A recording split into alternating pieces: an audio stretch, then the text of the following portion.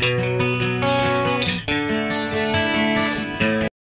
guys, je vous retrouve dans un nouvel épisode de Livre d'Histoire pour une sorte de vlogture, un vlog slash lecture pour euh, parce que je suis en vacances, je suis en train de tous les livres qui sont dans ma palle du challenge Petit mois, petite lecture. J'en ai déjà lu 6, donc euh, c'est pour euh, vous en parler avant que je n'oublie trop euh, de quoi il s'agit et que je vous fasse un petit update. Donc je reprendrai ce vlog un peu plus tard dans la semaine ou la semaine prochaine pour continuer à vous parler des lectures.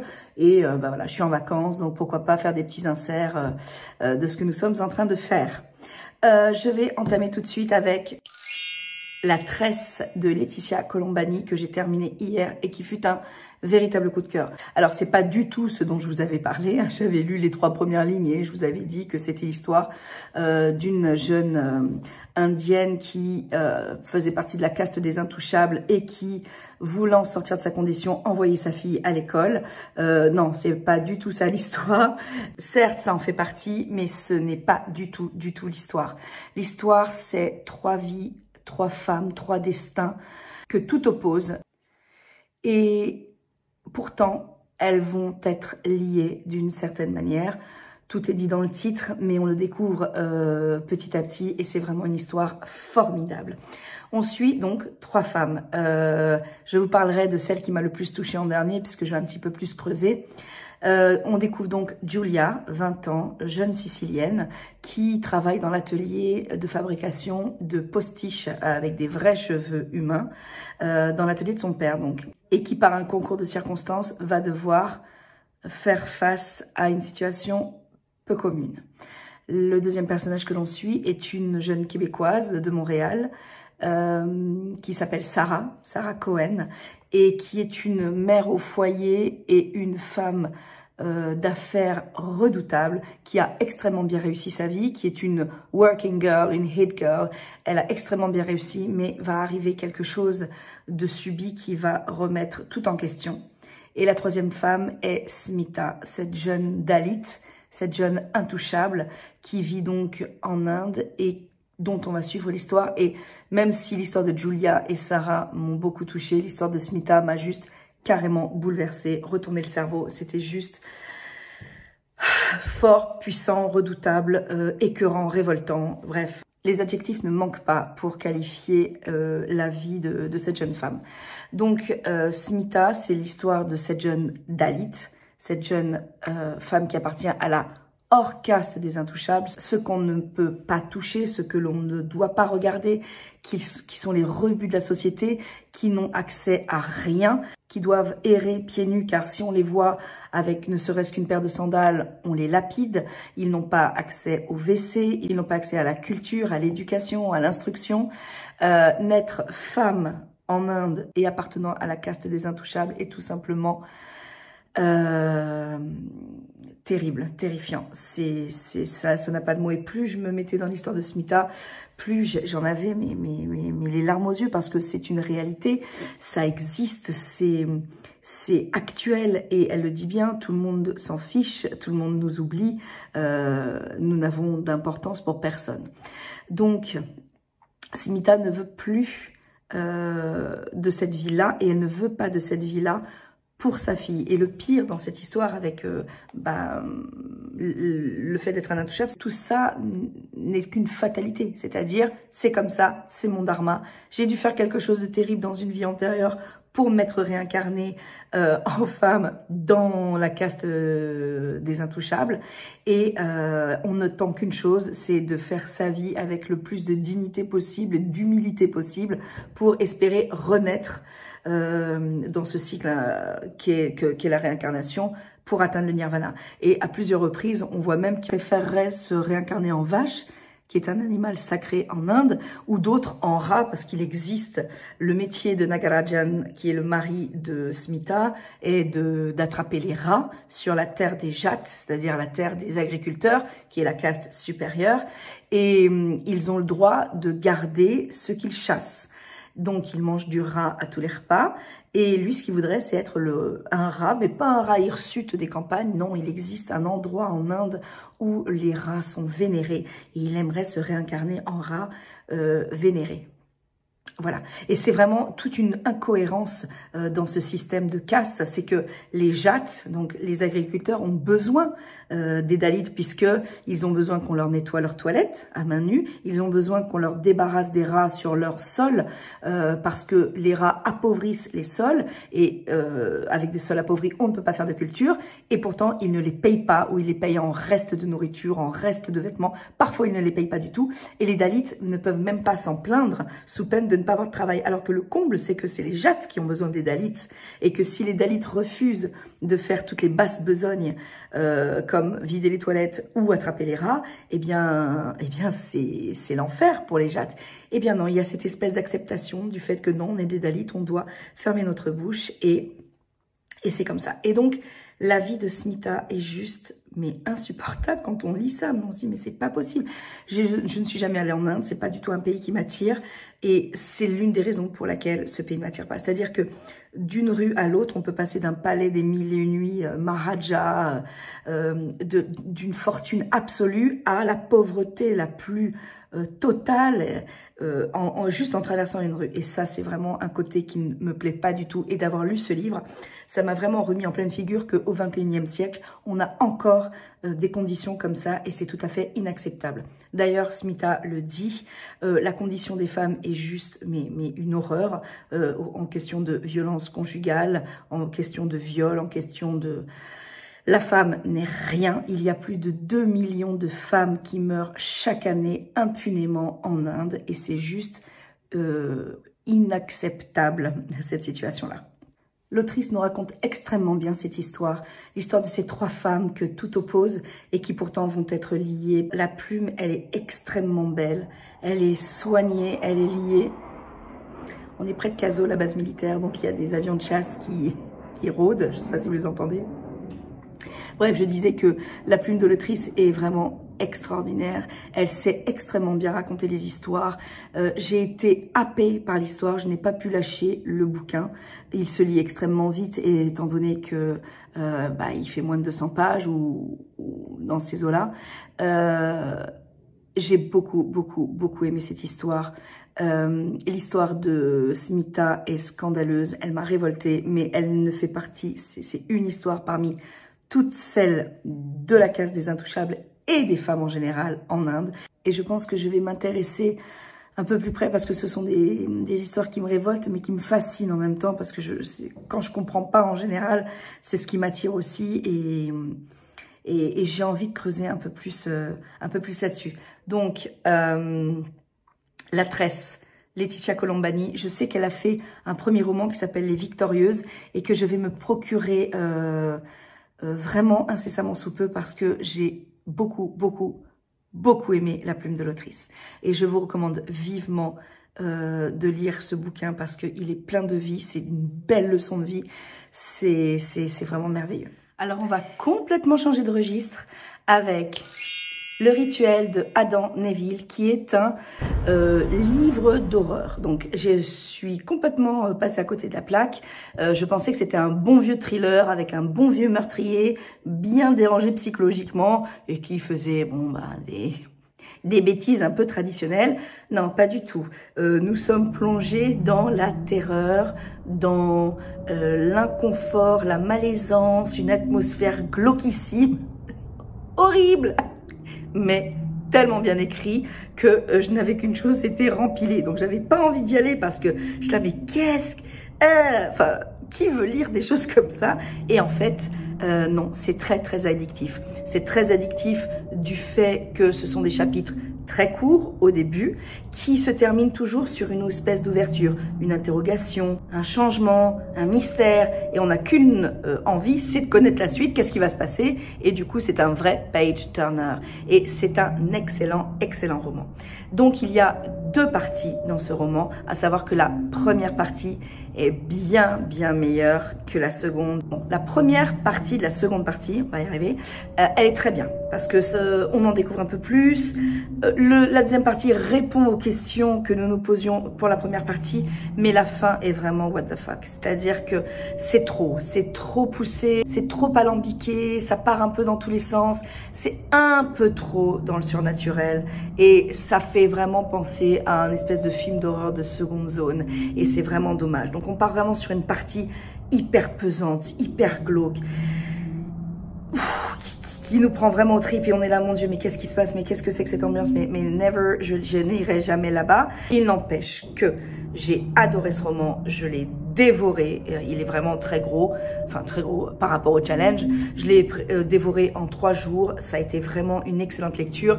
Et même si c'est pas du tout ma tasse de thé, parce que moi j'adore les thrillers, les thrillers psychologiques, j'aime aussi un petit peu euh, quand ça découpe, quand ça, voilà, j'adore Jean-Christophe Granger. Mais là c'est au-delà, ça découpe, mais ça va vraiment au-delà.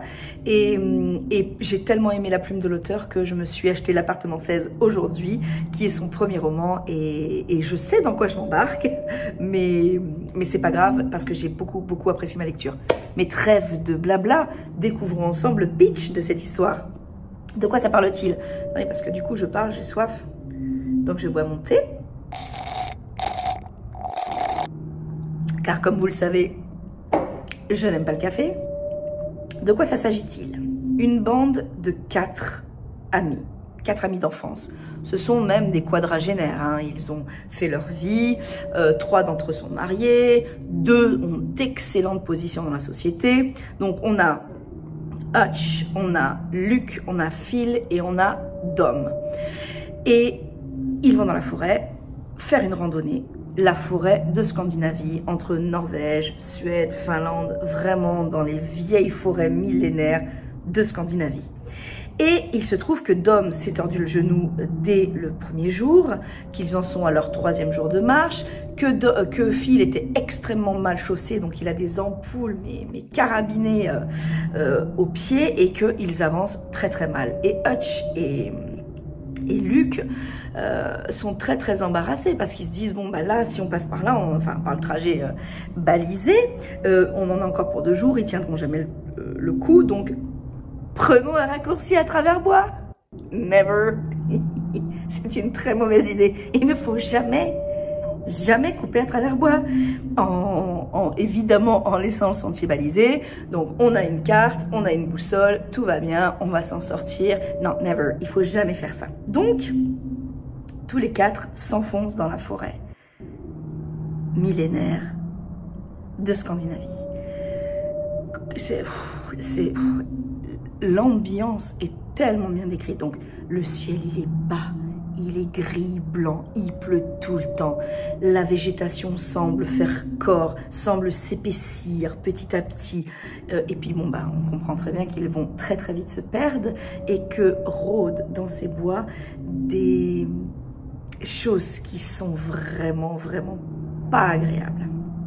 J'ai pas envie de vous en dire plus, j'ai envie de vous laisser découvrir le roman. Alors attention, il faut vraiment être averti, euh, c'est euh, un, livre qui est extrêmement malaisant. On se sent pas bien, on se sent mal. À un moment, il découvre une maison, euh, je vous laisse imaginer le, le type de maison qui, euh, abandonnée qu'ils ont pu découvrir. C'était vraiment juste, mais, la malaisance, euh, voilà, c'est pas un livre. Euh, voilà, si vous n'êtes pas bien dans votre peau, si vous ne vous sentez pas bien, si vous n'êtes pas happy, euh, n'y allez pas parce que c'est vraiment pas le genre de livre qui met le sourire et qui redonne foi en l'humanité mais extrêmement, extrêmement bien écrit. D'ailleurs, ça m'a fait tout de suite penser au projet Blair Witch, le film qui était sorti il y a plus d'une vingtaine d'années, que j'avais été voir au cinéma. Euh, voilà, c'est euh, c'est vraiment cette ambiance-là, l'ambiance du projet Blair Witch, perdu dans une forêt. On n'en voit pas l'issue. Évidemment, on va manquer d'eau, on va manquer de nourriture. Puis encore une fois, il y a, quelque chose dans la forêt qui est pas, qui pas hyper sympathique, qui rôde. Et du coup, ben, not nice. Ah, le roman, il est vraiment oppressant, malaisant, terrifiant, même dérangeant de deux choses l'une. Si ce film sort au cinéma, jamais j'irai le voir.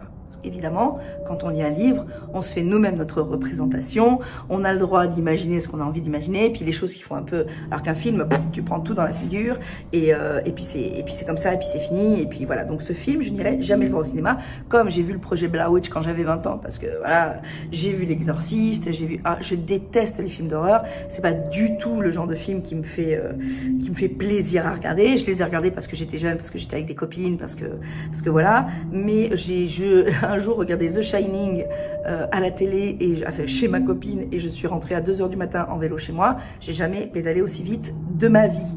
donc, mais ça, j'étais jeune, j'étais insouciante, c'était l'expérience. Maintenant, non, c'est fini. Je sais ce que j'aime, je sais ce que j'aime pas. Et j'adore lire des livres qui font peur, mais hors de question que je regarde ce genre de film.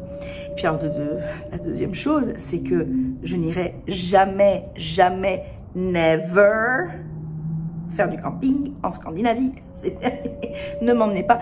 D'ailleurs, j'ai déjà fait une randonnée quand j'étais en Thaïlande, quand j'étais jeune, durant mon trip de trois mois en sac à dos. Euh, je ne savais pas ce qui m'attendait. Moi, on m'avait dit, on va faire du camping, on va, on va, pas, on va faire une randonnée en montagne. 52 km en trois jours, dans la montagne, Thaï. Donc la première nuit, on a dormi dans un petit village Karen qui était tout sympa, c'était très très bien, euh, c'était très agréable, on a passé une super soirée. Bon, la deuxième nuit, on a campé en plein milieu de la forêt. On a même dû construire nous-mêmes notre campement. Donc, on a ramassé des bambous. On a euh, construit notre tente. Donc, on a construit une énorme tente. On devait être euh, 8 ou 10. Donc, euh, monter euh, la structure avec des bambous, attacher avec des lianes, prendre des grandes feuilles pour couvrir, pour servir de toit. On s'est fabriqué des verres, on s'est fabriqué... Bref, j'ai dormi là-dedans et je vous promets que j'avais entendu quelque chose qui sniffait en pleine parce que j'ai le sommeil extrêmement léger, surtout quand voilà, je suis pas chez moi et que et j'avais entendu quelque chose qui reniflait, qui sniffait euh, près de la tente et tout, et je n'avais jamais eu aussi peur de ma vie. C'était une véritable horreur. Mais je n'avais pas encore lu ce livre. Mais maintenant que j'ai lu ce livre, déjà il était hors de question que j'y retourne.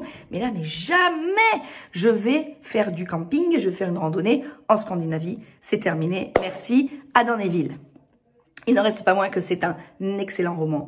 J'ai adoré la façon dont l'auteur a traité les personnages, leur psychologie, leurs relations et vraiment euh, ce que euh, la peur peut faire au cerveau, à l'esprit, et la façon dont euh, les langues peuvent se délier, les ressentiments peuvent surgir, et, et c'était vraiment très très bon sur ce côté-là. Euh, le roman dans l'ensemble était euh, très très bon. Donc c'est pas un coup de cœur, parce que la fin, je l'ai trouvé un petit peu tirée par les cheveux, c'était néanmoins une très très bonne lecture. Next donc, je viens vous parler d'un autre coup de cœur, La vraie vie de Adeline Dieudonné qui a été un livre, euh, waouh, euh, assez euh, une claque, de par la plume de l'auteur, de par l'histoire, de par... voilà. c'est extrêmement bien écrit, c'est de, par voilà la plume, les comparaisons.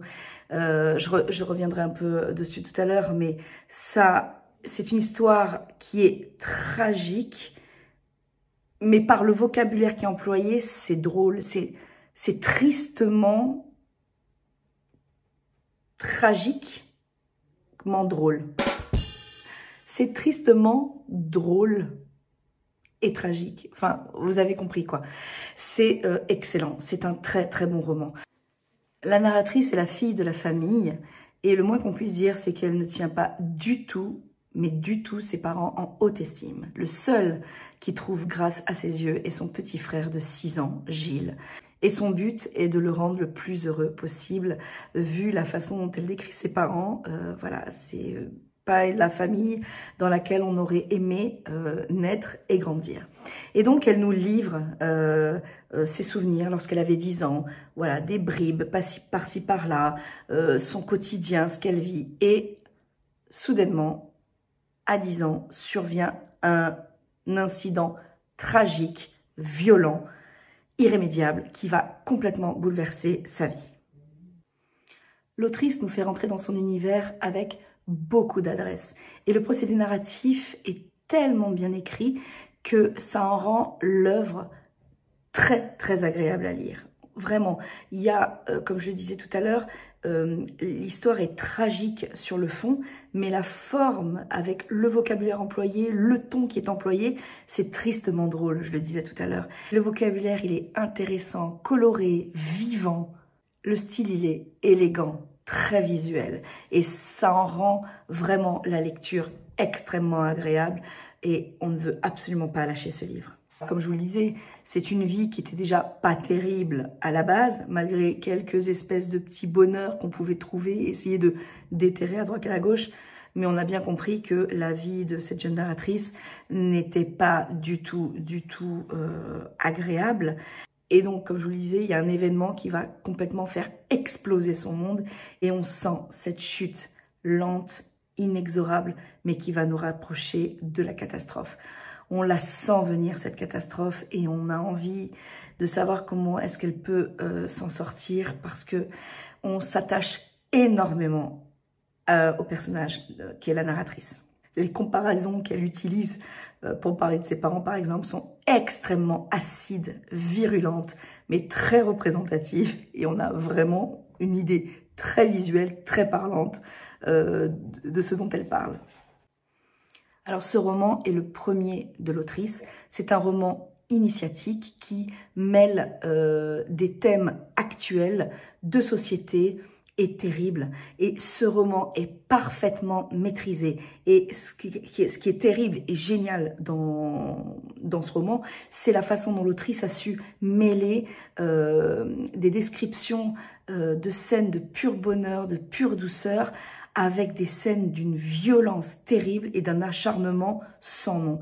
Et c'est vraiment un énorme coup de cœur que j'ai eu pour ce livre et je vous le conseille véritablement. C'est un très très bon roman. C'est bon, ça Ah, hello Je présente-moi à toi. Euh, je suis Mildred. Je suis the agent de Stephanie, l'agent, l'agent euh, je dire votre tu peux stop. Non, c'est pas possible. Le vidéo, j'ai dit ça tout à l'heure. Le vidéo est trop long. Euh, une heure de vidéo, c'est pas possible. Donc, j'ai dit stop. On va euh, stopper stop now.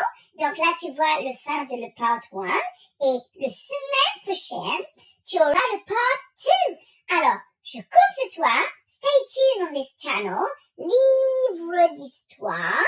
Et je dis à toi, n'oublie pas aussi, surtout, laisse le petit pouce en l'air, le thumbs up. C'est pour le encouragement de le channel. Et je dis à toi très très bientôt, next week, sur ce channel. Et à très très bientôt. Bye!